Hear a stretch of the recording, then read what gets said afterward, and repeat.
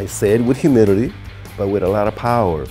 There's very few bands in this world like my band. I want to take you back to 1965, Ritchie Valens, four years later, Woodstock. Tell me about Ritchie Valens and the influence he had on you. You know, Ritchie Valens to me was like the first uh, Santana, you know, and then Jose Feliciano, and they show me that, that there was a place for me uh, along Elvis Presley or Jimi Hendrix or B.B. King. They show me that it was possible for a Mexican dishwasher to dream that I can be in that uh, stage, in that arena, and make a difference.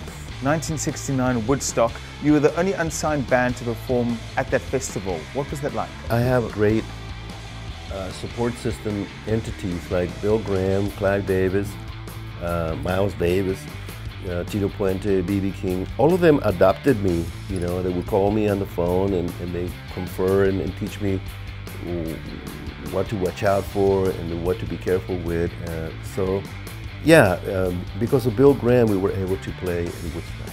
Most of us have never seen a Santana show. Give me an idea of what we can expect in Cape Town and Joburg this week. It's a concert like Bob Marley or Michael Jackson, you know, where you feel that a sound resonance vibration rearranges your molecular structure.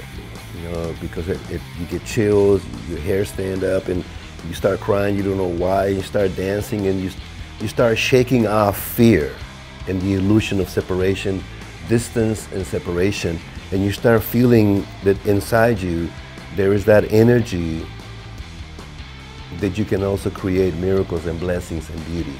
It's like a volcano and a whole bunch of lions roaring. Carlos Santana, a real pleasure to meet you. Peace.